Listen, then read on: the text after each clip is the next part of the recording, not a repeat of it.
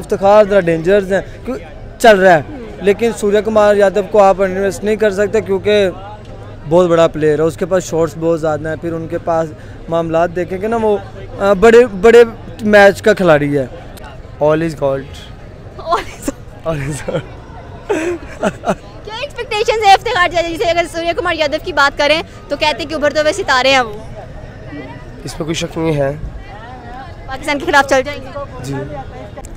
इफ्तार चाचा, देखिए अच्छा खेलता है। लास्ट लास्ट टाइम भी उन्होंने सेंचुरी की थी नेपाल के खिलाफ, लेकिन ये कंपैरिजन कुछ अच्छा नहीं लग रहा मुझे, क्योंकि वो 360 प्लेयर है। चाचा अच्छा खेलते हैं हमारा।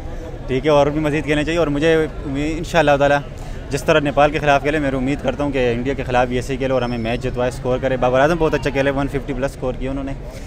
टीम दोनों तरह से स्ट्रॉन्ग है और दोनों टीमों को एक दूसरे की तरफ़ से टफ टाइम मिलेगा। लेकिन सुनने में ये कि 90 परसेंट चांसेस इंडियन टीम के विन करने के नहीं नहीं नहीं इस तरह नहीं है। हमारी मौज से इलेवन है आपको नहीं पता। वो तो कभी भी कुछ भी कर जा अस्सलाम वालेकुम। वालेकुम अस्सलाम। क्या हाल है सर आपका? अल्हम्दुलिल्लाह। सर आज हम कंपैरिजन करने जा रहे हैं सूर्य कुमार यादव का इफ्तार चाचू के साथ। क्या कहना चाहते हैं? कौन सा प्लेयर बेस्ट है? एक ओल्ड है एक गोल्ड है। हाँ ये तो है। बाकी दोनों ही गोल्ड है मैं तो गोल्ड है हमारा ज़रा थोड़ा सा वो गोल्ड के ऊपर थोड़ी सी ब्लैक चांदी चांदी लग रही है। हाँ उनका गोल्ड न्यू है ज़रा। लेकिन ये देखें रिसेंटली देखें तो इफ्तार ज़रा डेंजर्स है क्यों चल रहा है। लेकिन सूर्य कुमार यादव को आप इन्वेस्ट नहीं कर सकते क्योंकि बहुत बड़ा प्लेयर है। उसके पास शॉट्स बहुत ज़्यादा हैं फिर उनके पास मामला देखेंगे ना वो बड़े बड़े मैच का खिलाड़ी है। तो इफ्तार भी नो डाउट बहुत अच्छा खेल रहे हैं। रिसेंटली उन्होंने जैसे उनको नेपाल को मारा है। तो मज़ा आने वाला है। सूर्य कुमार यादव और इनकी बात करें तो मुझे फिर भी, मुझे लगता है कि सूर्या को थोड़ा सा मैं इसलिए दूँगा कि एक तो नाम बहुत बड़ा है और उसकी परफॉर्मेंस बहुत ज़्यादा है और उसके पास शॉट्स बहुत ज़्यादा और उसको ओवर्स बहुत ज़्यादा मिलते हैं। इफ्तार ने आना छः, सात के बाद हिटिंग के लिए तो उनको ओवर मिले होते हैं पाँच और उन्होंने रन रेट को बढ़ाना होता है तो उसमें बंदा जल्दी आउट भी होता सकता है। जैसे करैक्टर था रिजाक का जैसे अफरीदी का जैसे आसफ अली का जैसे पांड्या का उनकी तरफ़ से।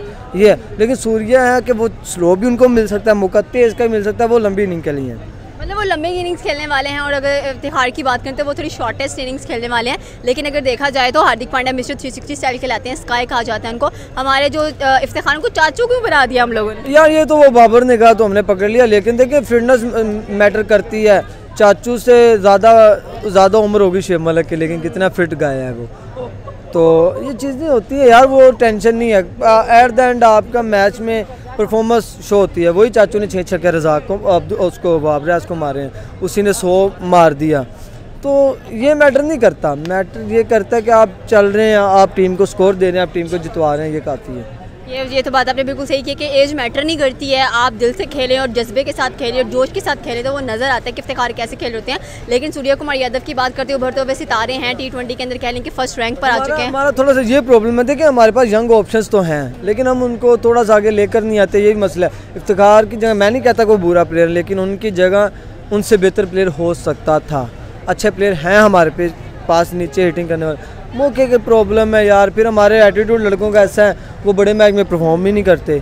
तो पीसीबी का भी कसूर नहीं है हम पीसीबी का कसूर कहते हैं लेकिन बड़े मैचों में देखें तो वो आ, जैसे बहुत से प्लेयर हैं ऐसे के नाम लेते जाएँ आप देखते जाएँगे वो बहुत थोड़ा सा ना नीचे नीचे टाइप वाले प्लेयर हैं। ओके थैंक यू अस्सलाम वालेकुम वालेकुम सलाम। क्या हाल है सर आपका? मैं ठीक ठाक सर आज हम कंपैरिजन करने जा रहे हैं। सूर्य कुमार यादव मिस्टर 360 उनको स्काई भी कहा जाता है उनका कंपैरिजन करने जा रहे हैं। जी हमारे अपने इफ्तिखार चाचा जी के साथ जो कहते हैं कि ओल्ड इज़ गोल्ड तो लगता है कि ओल्ड गोल्ड है। All is gold all is क्या एक्सपेक्टेशंस है इफ्तिखार चाचा जी से? अगर सूर्य कुमार यादव की बात करें तो कहते हैं कि उभरते हुए सितारे हैं वो। इसमें कोई शक नहीं है। पाकिस्तान के खिलाफ चल जाएँगे। जी। सच्ची? हाँ। 90 परसेंट लोग कहते नहीं चल पाएँगे। चलेंगे वो। दौड़ेंगे अभी? भागेंगे भी। माशाल्लाह से मतलब सूर्य कुमार यादव इस बार पाकिस्तान के खिलाफ चलना चाहिए क्योंकि देखा जाए तो अक्सर लोग कहते हैं कि वो स्मॉल टीम्स के खिलाफ अच्छा खासा चले ये बड़ी टीम आती है तो नज़र नहीं आते खेलते हुए लेकिन इस बार पाकिस्तान के खिलाफ लोग उनको देखना चाहते हैं वो कैसा खेल रहे हैं? जहरी बात है लोग देखेंगे वो खेलेंगे ठीक है? देखने से होता है ना कि लोग अगर उनको तालियाँ जैसे अगर कि हमारे पाकिस्तान के में देखें ना, अगर कोई कोई भी बड़ा डांसर आता है तो लोग तालियाँ मारते हैं। जैसे स्टेडियम में भी हम चले जाते हैं तो कोई लड़की आती है स्टेडियम में वाली तो हम कैसे तालियाँ मारते हैं? कि यार, ये लड़की है, इसका नाम बनेगा। इसी तरह अगर हम तालियाँ मारेंगे, जहरी बात है कि हमें खुशी होगी कि यार, ये बंदा हमारा बेस्ट है और ये हमें जीत आएगा तो सारी बात है, हमें तालीम मारनी चाहिए क्या एक्सपेक्टेशन है? जैसे कि इफ्तिखार चाचा जी हैं पिछले मैचेस में भी उन्होंने काफ़ी अच्छा परफॉर्म किया। हमारा एक ऐसा मैच जो हारते हारते उन्होंने हमें जितवा दिया था तो हम काफ़ी इंप्रेस हुए थे। पहले हालाँकि हम कह रहे थे वो बूढ़े हैं वो नहीं खेल पाएँगे ये नहीं कर पाएँगे। लेकिन एट द एंड वो बूढ़े ही जितवा के चले गए। जहरी बात है बूढ़ों में ज़्यादा जान होती है इसलिए। ये ये भी बात एग्री करने वाली खुराकें अच्छी खाई जहरी बात है। देसी खुराकें खाई है ना। ये थोड़ी खाई है बर्गर शर्गर थोड़ी खाया उन्होंने। वो तो हमारे प्लेयर्स खाते हैं और खाने के बाद सो रहे होते हैं मैच के विकेट कीपिंग नहीं हो रही होती।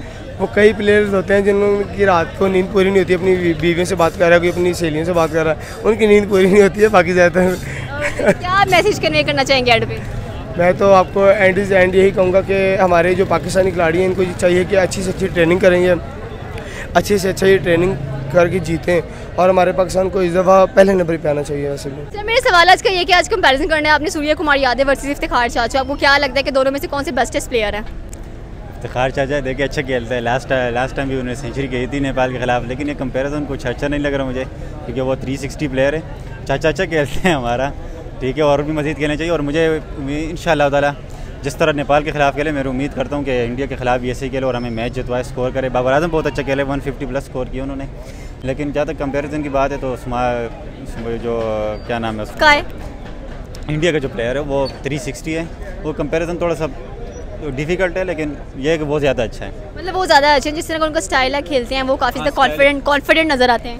कॉन्फिडेंस के लिहाज से मैं समझता हूँ इफ्तार भी ठीक है। उन्होंने इंडिया के खिलाफ पिछली बार जो बिल्कुल मैच फंसा हुआ था उन्होंने एंड में आके जो स्कोर किया था उसके बाद हमारा थोड़ा मोरल भी हाई हुआ था ठीक है। लेकिन जो स्टाइलिश है ना स्टाइलिश में जो कंपैरिजन है तो वो सुमार डॉक्टर सूर्य कुमार सूर्य सॉरी मैं डॉक्टर कह रहा हूँ सूर्य कुमार यादव जो है वो ज़्यादा अच्छा है। मतलब काफ़ी अच्छे प्लेयर हैं काफ़ी अच्छा खेलते भी हैं और साथ में काफ़ी दिलों की धड़कने भी हैं नहीं इस बार जो है ना टीम दोनों तरह से स्ट्रॉन्ग है और दोनों टीमों को एक दूसरे की तरफ़ से टफ टाइम मिलेगा। लेकिन सुनने में ये कि 90 परसेंट चांसेस इंडियन टीम के विन करने के नहीं नहीं नहीं इस तरह नहीं है। हमारी मौज से इलेवन है आपको नहीं पता। वो तो कभी भी कुछ भी कर जा सकती हमारी वाकई ऐसी हार्ट अटैक देकर मारती है। मैं, तो कोई पाकिस्तान कहता तो मैं कहता हूँ जी मौजा इलेवन वर्सेस पता नहीं किसकी टीम मैं तो उसको नाम ही मौजा इलेवन रखा हुआ है। लास्ट टाइम देखे हम पहले मैच आ रहे हो दूसरा मैच आ रहे हो तीसरे में पता नहीं कहाँ से जीतो। उसके बाद ये टीम फाइनल में पहुँची थी इंडिया इंग्लैंड के खिलाफ तो जिसको कुछ नहीं जाता नाइन्टी एटी परसेंट पाकिस्तान के खिलाफ तो आप ये बात नहीं कर सकते।